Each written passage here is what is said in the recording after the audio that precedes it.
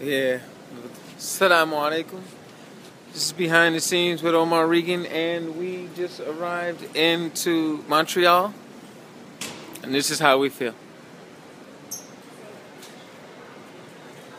Nobody is here to get us. This Maher Zain. This is how we feel, man.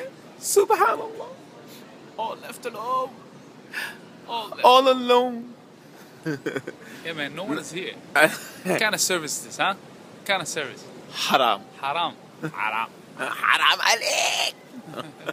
All right, somebody's coming for sure, inshallah. So we'll see you soon. Assalamu alaikum. Wa alaikum salam.